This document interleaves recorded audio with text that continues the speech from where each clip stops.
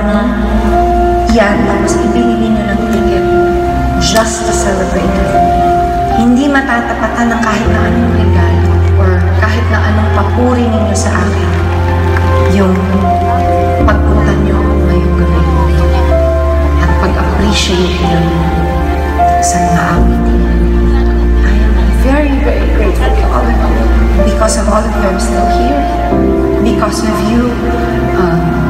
maayos ang buhay ko at ang pamilya ko. So, maraming maraming salamat. Kaya ang tawag ko sa inyo ay friends and not fans. Because kayo yung lagi nasa likuran ko at handang ipaglaban ako.